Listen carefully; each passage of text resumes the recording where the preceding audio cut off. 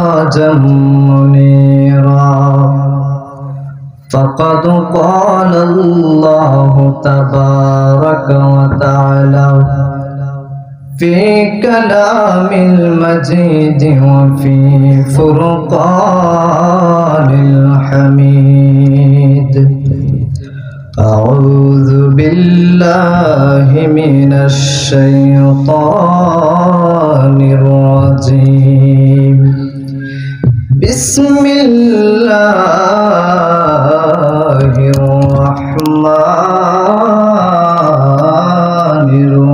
الرحيم. وأقاموا الصلاة لذكري قال النبي صلى الله عليه وسلم أول ما يحاسب به عبده يوم القيامة الصلاة. أو قام قال عليه الصلاة والسلام. أصحابي كالنجوم فبأي اهتديتم؟ اهتديتم. إن الله وملائكته يصلون على النبي. يا أيها الذين آمنوا صلوا عليه. وسلموا تسليما اللهم صل على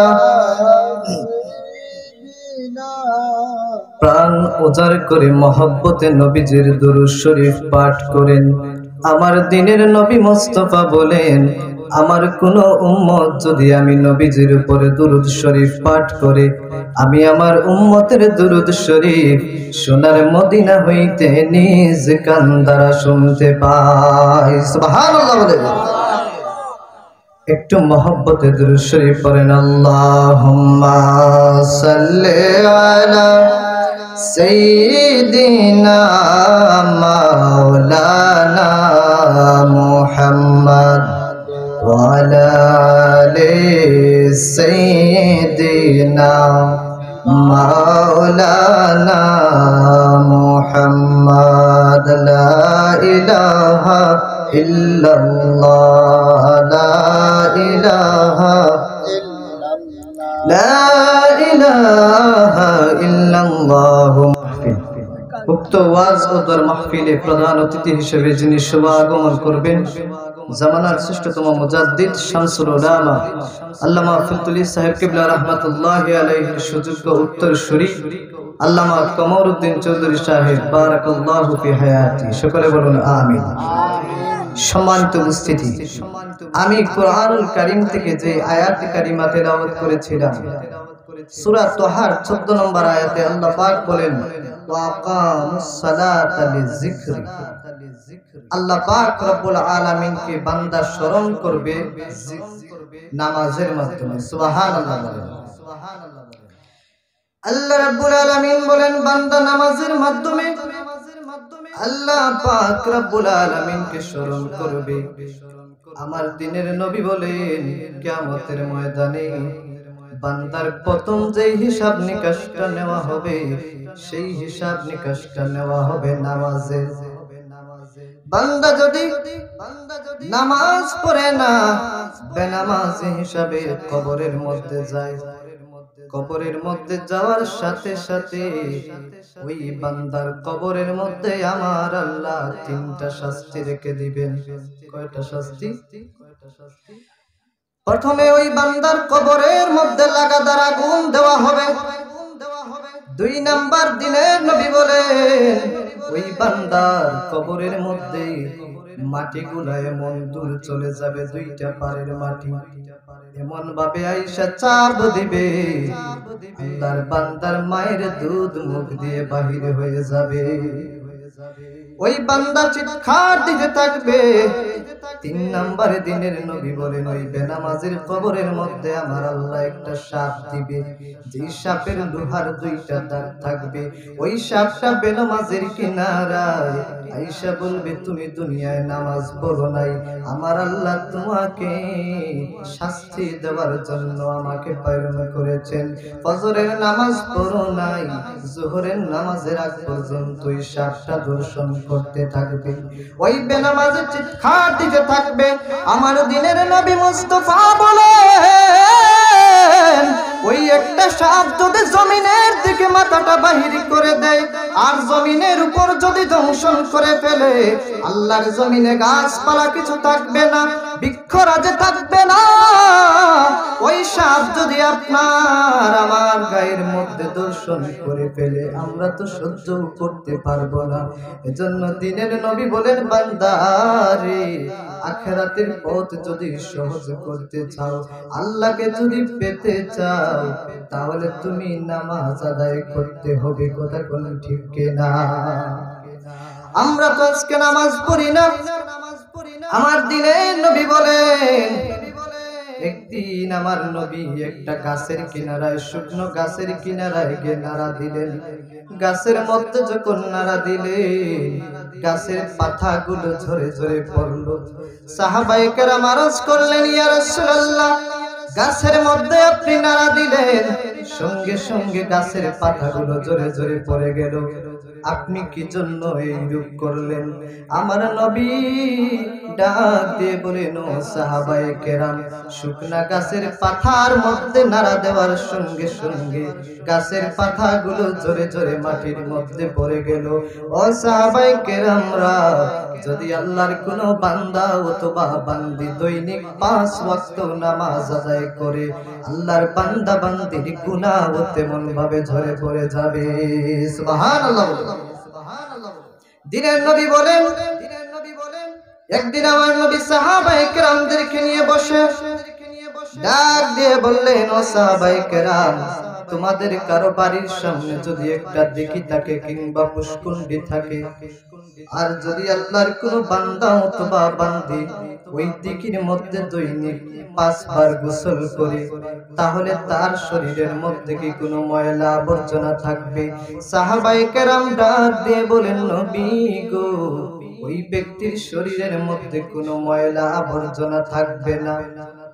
আমার নবী ডাক দিয়ে বলেন, ও সাহাবীরা তোমরা জেনে রাখো, যদি আল্লাহর কোনো বান্দা অথবা বান্দি দৈনিক পাঁচ ওয়াক্ত নামাজ আদায় করে রে তাহলে ঠিক তেমনি ভাবে তার কোনো গুনাহ থাকতে পারে না সুবহানাল্লাহ।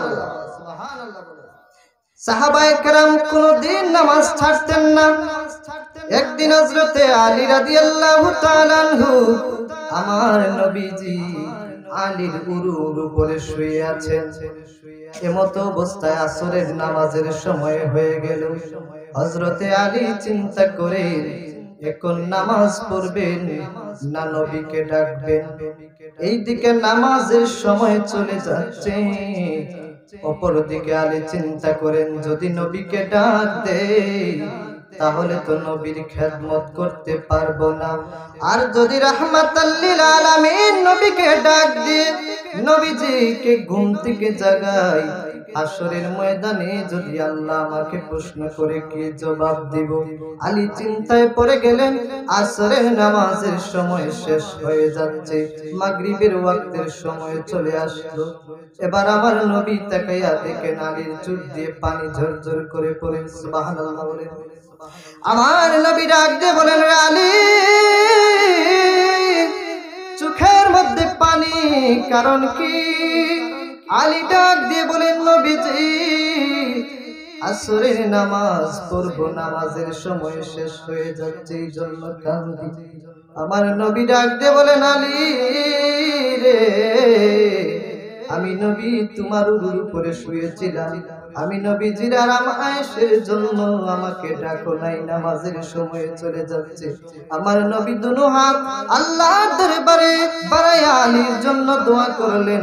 আর আমার নবী আকাশের সূর্যটাকে বললেন, আকাশের সূর্য, আবার গন্তব্যস্থানে চলে যাও। আসরের সময় হয়ে যাক। আমার আলী এখন আসরের নামাজ পড়বে। সুবহানাল্লাহ। একটু মহব্বতে প্রাণ উজাড় করে জিকির করেন, আল্লাহ আল্লাহ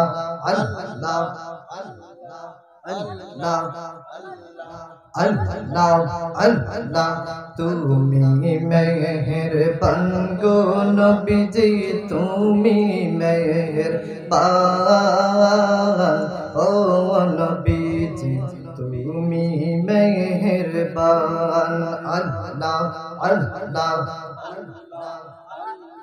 নয়নে একবার দেখিলে জুরাইতাম পরান ও নবীজি, তুমি মেহেরবান আল্লাহ আল্লাহ আল্লাহ।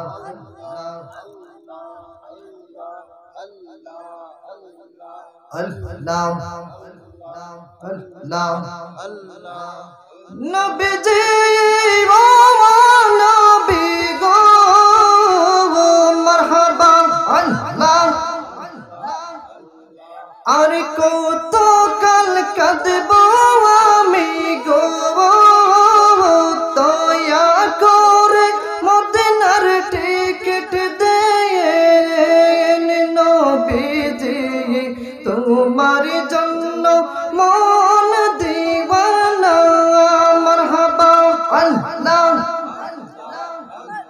لا إله إلا الله محمد رسول الله صلى الله সাহাবায়ে কেরাম কোন দিন নামাজ ছাড়া তো দূরের কথা কাজা যে হবে তাও পছন্দ করতেন না। আর আমরা তো নামাজই করি না কেউ জিজ্ঞাসা করলে আবার বলি যে ইমান ঠিক আছে অথচ দিনের নবী বলেন যদি নামাজ মুমিন পড়ে না, তাহলে তার ইমানদারিত্বই থাকে না। নামাজ মুমিন এবং কাফেরের মধ্যে পার্থক্য। আমার নবী মুস্তাফা সাল্লাল্লাহু আলাইহি ওয়াসাল্লাম সাহাবায়ে কেরামদেরকে নামাজের তাগিদ দিতেন, জামাতের তাগিদ দিতেন। কিন্তু আজকে যদি এই সমাজের কোনো ইমাম সাহেব উচ্চ সুরে জামাতের কথা বলে, তাহলে মনে হয় ইমাম সাহেবের চাকরি চলে যাবে। ঠিক না আওয়াজ করে বলেন, ঠিক না এই সমস্ত অন্যায়, অবিচার স্বাধীন বাংলা থেকে বয়কট হতে হবে, ঠিক কিনা? যদি এই সমস্ত সোনার বাংলা থেকে অন্যায়, অবিচার ডুবন্ত হয়, তাহলে স্বাধীন বাংলায় সেই সত্যের সূর্য ভেসে উঠবে। স্বাধীন বাংলায় মুসলমান নির্যাতিত হবে না। আবার ঐক্যের মুখ্যপতি হয়ে দাঁড়াতে হবে সোনার বাংলায়। আবার এ জাতি অমরের মতো একজন মুসলমান দেখতে চায়। ইসলামের জান্না স্বাধীন বাংলায় উড়াবার জন্য কোথাকন ঠিক না আজকে সোনার বাংলায় ব্যর্থহীন কণ্ঠে বলে দিতে চাই, যারা ইমাম মুয়াজ্জিনের পিছনে নামাজ পড়ে, মসজিদের ইমাম মুয়াজ্জিনকে অবহেলিত করে তাদের বিরুদ্ধে চব্বিশ ঘণ্টা চিন্তাধারায় লিপ্ত থাকে। ওই সমস্ত ভাইদেরকে বলব, আপনারা ওইসব বন্ধ করুন, কারণ ইমাম মুয়াজ্জিনের পিছনে নামাজ পড়ে, ইমাম মুয়াজ্জিন চান না আপনার ক্ষতি হোক। সব ইমাম মুয়াজ্জিন আলেম উলামারাই চান। আপনাকে কীভাবে হেদায়তের পথের প্রতীক করা যায়, ঠিক কি না কিন্তু যদি আল্লাহ তাকে হেদায়ত করেন না তাহলে কোন আলেম পীর সাহেব নসিহত করে তার হেদায়ত আনতে পারবে না। আমার ভাইরা বনি ইসরাইলের এক মহিলা একদিন মুসা নবীর কাছে আসলো। এসে ডাক দিয়ে বলে, ও পয়গাম্বর মুসা, আপনি আল্লাহর দরবারে ফরিয়াদ করেন। মুসা নবী ডাক দিয়ে বলেন, কি ফরিয়াদ করব? বলে, মুসা নবীজি গো আল্লাহর কাছে ফরিয়াদ করো, আমার জন্য আমি গুনাহ করেছি। আল্লাহ আমাকে ক্ষমা করে দেওয়ার জন্য। মুসা নবী বলেন, কি গুনাহ করেছ? ওই মহিলা ডাক দিয়ে বলে মুসা, আমি বেবিচার করে একটা সন্তান জন্ম দিয়েছি। নাউজুবিল্লাহ বলেন এর মুসা বেবিচার করে যে সন্তানটার জন্ম দিয়েছিলাম আবার আমি ওই সন্তানটাকে হত্যা করেছি। বলেন আশ্চর্য হয়ে রাগান্বিত হয়ে গেলেন। বলেন, মা, তাড়াতাড়ি করে আমার সামনে থেকে দূর হও। যদি এখন আল্লাহ গজব নাজিল করে, তাহলে তোমার সাথে আমার উপরে পড়বে। ওই মহিলাটা বেহুশ হয়ে যায়। মুসা নবী তাড়িয়ে দিয়েছেন, আল্লাহ তো আর ক্ষমা করবেন না। মহিলাটা কেঁদে কেঁদে বাড়ির দিকে রওনা হয়ে যায়। আমার আল্লাহ জিব্রাইলকে পাঠাইয়া দিলেন, মুসা নবীর কিনারায় জিব্রাইল ফেরেস্তা বলে, ও মুসা, কি জন্য এই মহিলাটাকে তাড়িয়ে দিয়েছ? মুসা নবী আশ্চর্য হয়ে গেলেন। জিব্রাইল ডাক দিয়ে বলেন, মুসা নবী রে, ওই মহিলাটা নিজে একটা বেবিচারী মহিলা, বেবিচার করে একটা সন্তান জন্ম দিয়েছে। অপয়গম্বর মুসা আর ওই সন্তানটাকে আবার নিজে হত্যা করেছে। কিন্তু জেনে রাখো না, ওই মহিলাটা যতটুকু পাপি, এর চাইতেও বেশি পাপি হলো যারা স্বইচ্ছায় নামাজ ত্যাগ করে। যারা নামাজ ত্যাগ করে। আমরা যারা নামাজ পড়ি না, নিশ্চিত থাকতে হবে, আমাদের কবরে আজাব হবে। কথা কোন ঠিক কিনা? ওই আজাব কি সহ্য করা সম্ভব? আমরা তো একেবারেই সাধারণ। নবীজির এক সাহাবি ছিলেন হজরতে যিনি করলেন, আল্লাহর আরশ করে কাঁপতে শুরু হয়। বলেন। সাদ বিন ইন্তেকাল করলেন, আল্লাহর বলে, আল্লাহ, আমাদেরকে সাদ বিন মুআজের জানাজায় শরীক হওয়ার সুযোগ করে দাও। কি উঁচু দরজার একজন সাহাবী ছিলেন? হজরতে সাদ বিন মুআজ যখন ইন্তেকাল করার পর সাদ বিন মুআজের লাশটা আমার নবী কবরের মধ্যে রাখলেন। আমার নবী তাকাইয়া দেখেন, কবরের মাটি দুই পাশ দিয়ে সাত বিন মুআজকে চাপ মেরে ধরলো। আল্লাহু আকবার বলে। আমার নবী কারামদেরকে নিয়ে আল্লাহু আকবার বলে তাকবীর দেওয়া শুরু করলেন। আল্লাহু তাকবীরের বদলে কিছুক্ষণ পর দেখা যায় সাত বিন কবরের মাটি ছেড়ে দেয়। আমার নবী চোখের পানি গুলা ছেড়ে ছেড়ে বলেন ও সাহাবায়ে কেরাম, আমার সাত বিন মুআজ এমন সাহাবী ছিল যার জানাজায় শরিক হওয়ার জন্য আকাশের ফেরেস তারা পাগল পারা হয়ে গেল। ও সাহাবায়ে কেরাম, আমার সাদ এমন সাহাবী ছিল যার মৃত্যুর সংবাদ শুনে আল্লাহর আরশ থর থর করে কাঁপতে শুরু হয়। সাহাবিরা রে, যখন আমার সাদকে কবরের মধ্যে নামাইলাম, ওই কবরের মাটিগুলা সাদকে চাপ দিয়ে ধরলো। ও সাহাবায়ে কেরাম আমার সাদকে যখন কবরের মাটি চাপ দিয়ে ধরলো, আমি যখন আল্লাহ আকবার বলে তাকবীর দিলাম, আবার মাটি ছেড়ে দিল। নবীর একজন সাহাবিকে যদি কবরের মাটি চাপ দিয়ে ধরতে আসে, তাহলে আপনার আমার অবস্থা কেমন হতে পারে? আমরা তো চিন্তাই করি না। কিন্তু আমার নবীর সাহাবী হজরতে উসমান যখন কবর দেখতেন হজরতে উসমান রাদি আল্লাহ চোখের পানি ছেড়ে ছেড়ে কন্দন করতেন। অথচ ওমর ছিলেন আশারাতুল মুবাশশারা, জান্নাতের সুসংবাদ প্রাপ্ত সাহাবী। যেই ওমর জান্নাতের সুসংবাদ প্রাপ্ত সাহাবী ছিলেন, কিন্তু ওমর নিজে চিন্তা করেন। আল্লাহ পাক যে ওমরকে প্রেসিডেন্ট বানিয়েছেন, ওমর জনসাধারণের হক দিতে পারতেছেন কিনা না? অমর প্রতিদিন চিন্তা করেন আর চোখের পানি ছেড়ে ছেড়ে কন্দন করেন। আমি অমর প্রেসিডেন্ট, আল্লাহ আমাকে ক্ষমতা দিয়েছে, কিন্তু যদি কোনো জনসাধারণের হক আমি দিতে পারি না, ময়দানে মাহসরের দিন যখন আল্লাহ আমি অমরকে জিজ্ঞাসা করবে, আমি কি জবাব দিব? ওই অমর কেমন চিন্তা করতেন? একদিন হজরতে অমর উনি ঘর থেকে বাহির হয়ে প্রতিবেশীর খোঁজ খবর নিতে লাগলেন। তখন ওমর এক বাড়ির কিনারায় গিয়ে দেখেন একজন মহিলা কিছু পানি আর কিছু পাথরকে নাড়াচাড়া করছে। আর সন্তানদেরকে বুঝাচ্ছে, বাবারা কিছুক্ষণ পর খাবে, রান্না হলে তোমরা এখন ঘুমিয়ে পড়ো। ওই মহিলা সন্তানদেরকে বুঝিয়ে ঘুম পাড়াচ্ছে। হজরত অমর বায়তুল মালের সম্পদের কিনারায় গেলেন। গিয়ে একটা আঠার বস্তা উনি কাদের মধ্যে উঠাইলেন সুবাহান আল্লাহ বলেন। বায়তুল মালের দারওয়ান তখন বলল মোর অন্তত পক্ষে প্রেসিডেন্টের কাদের উপরে এই বস্তাটা মানাবে না? আমার কাঁধে দাও। অমর বলেন, ভাই, তোমার কাঁধে দিলে কি হবে? কেমতের ময়দানে যখন আল্লাহ আমাকে জিজ্ঞাসা করবে, তখন আমার এই বোঝাটা আমি বহন করতে হবে। হজরত অমর ওই মহিলার বাড়ির দিকে দৌড়াতে লাগলেন। ঘরের কিনারায় গিয়ে বলেন, মা গো, ঘরের দরজাটা খুলো। ওই মহিলা ঘরের দরজাটা খুলে না। বলে, বাবা রে, কে তুমি? ঘরের সামন থেকে চলে যাও। এই ঘর নবীজির একজন সাহাবীর ঘর।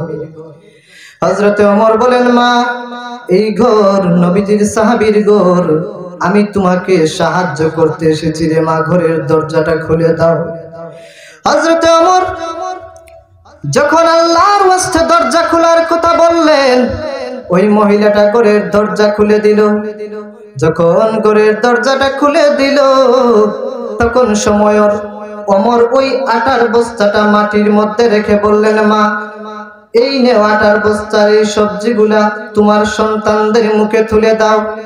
ওই মহিলা তখন চিৎকার দিয়ে আল্লাহর দরবারে দুনু হাত বাড়াইয়া বলে, আল্লাহ, ওই লোকটার দিন দুনিয়াকে তুমি উজালা করে দিও। সুবাহান আল্লাহ বলেন। অমরের জন্য মহিলা আল্লাহর দরবারে ফরিয়াদ করে, দোয়া করে। ওই মহিলা কিন্তু অমরকে চিনে না। মহিলাটা দোয়া করতে করতে একটা সময় গিয়ে বলে দিল, আল্লাহ ওই লোকটার মঙ্গল করিও আর অমরের উপর নালত করিও। নাউজুবিল্লাহ। হজরতে অমর চোখের পানিগুলা ছেড়ে ছেড়ে বলেন, মা অমর কি এমন কাজ করেছে আমাকে জানাও।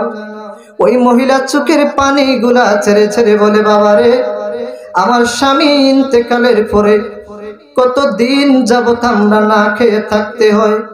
ও বাবা, প্রত্যেকটা দিন আমার সন্তানরা খাবারের জন্য কন্দন করে, কিন্তু আমার সন্তানদের মুখে খাবার তুলে দিতে পারি নাই। অমর প্রেসিডেন্ট হইল, কিন্তু আমার কোনো খোঁজ খবর নিল না। বাবারে এই জন্য আমি ময়দানে মাহসরের দিন আল্লাহর আদালতে যখন যাব, তখন হজরতে অমরকে আমি আঁকড়ে ধরব। যখন এই কথা শুনলেন, অমর তখন ভয়ে থর থরথর করে কাঁদতে লাগলেন। তখন হজরতে অমর ওই মহিলাকে সাহায্য করলেন এবং উনার কাছে হাত জোর করে উনি ক্ষমা প্রার্থী হইলেন। একজন নেতা হয়ে একজন জনসাধারণের কাছে কাছে কাকতি মিনতি করেন, নিজে চিন্তা করেন যে আল্লাহর কাছে জবাব দেবে কি। আর আমরা তো এইসব চিন্তা করি না। একবার চিন্তা করেন, আমরা আল্লাহর কাছে জবাব দেব কি। আজকে এই দেশে অন্তত পক্ষে একটা কাজ সবাই ঐক্যের সাথে করুন। আল্লাহর আখেরি নবী মোহাম্মদ সাল্লাল্লাহু আলাইহি সাল্লামের শান মানের বিরুদ্ধে বাংলাদেশে একটা দল বিরাজমান করছে, সেই দল হলো কুখ্যাত খাদিয়ানি সম্পাদক। নাউজুবিল্লাহ বলেন, যারা খতমে নবুয়ত বিশ্বাস করে না যারা বলে মোহাম্মদ সাল্লাম শেষ নবী নন, উনার পরে আরও নবী আসতে পারেন। মোহাম্মদ সাল্লামের বিরোধিতা প্রকাশ্যে করে এই দলের বিরুদ্ধে সর্ববেলায় আপনারা ঐক্যবদ্ধ হতে হবেন। কথা কোন ঠিক কিনা? আপনারা ঐক্যবদ্ধ হতে হবেন। সেই জাহান্নামের কুকুর, কুখ্যাত খাদিয়ানি সম্পাদয় আল্লাহর আখেরি নবী মোহাম্মদ রাসূলুল্লাহ সাল্লাল্লাহু আলাইহি ওয়াসাল্লামের সম্মানের বিরোধিতা করে। আজ থেকে আপনারা শপথ করুন, অনতি বিলম্বে স্বাধীন বাংলাদেশে যেন কাদিয়ানি সম্পাদয়ের বিচার হয়। যদি বাংলাদেশে থাকতে চায়, অমুসলিম হিসাবে বাংলাদেশে থাকবে। তারা কোনোদিন মুসলমান স্বীকৃতি দিয়ে বাংলাদেশে থাকতে পারবে না। ঠিক কিনা বলেন? বাংলাদেশে কাদিয়ানি সম্প্রদায় থাকতে চায়, কাফের অবস্থায় থাকবে। মুসলমান নাম নিয়ে মোহাম্মদ সাল্লাল্লাহু আলাইহি সাল্লামের বিরোধিতা করবে। আল্লাহর আখেরি নবী সম্মানের বিরোধিতা করবে, জৈনপুর মস্তক থেকে যদি কোনো ডাক দেওয়া হয়, আল্লামা এনায়েতুল্লাহ আব্বাস সিদ্দিকী পীর সাহেব ফুলতলি দরবার থেকে আল্লামা হুসামউদ্দিন পীর সাহেব যদি ডাক দেন, সবাই ঐক্যের মালা পরে কাদিয়ানির বিরুদ্ধে অবস্থান করতে হবে। অনতি বিলম্বে পঞ্চগড়ের মাহফিল কাদিয়ানিদের বাতিল করতে হবে। আর কাদিয়ানি সম্প্রদায় যদি মোহাম্মদ সাল্লাল্লাহু আলাইহি সাল্লামের সেই বিরোধিতা বন্ধ না করে, মোহাম্মদ সাল্লাল্লাহু আলাইহি সাল্লামের সম্মানের কটুক্তি বন্ধ না করে কাদিয়ানীদের রক্ত বঙ্গোপসাগরের পানির সাথে মিশ্রিত হবে, কথা কোন ঠিক কিনা? সবাই আসুন, নবীকে দাঁড়ায় একটা সালাম দেই নবী।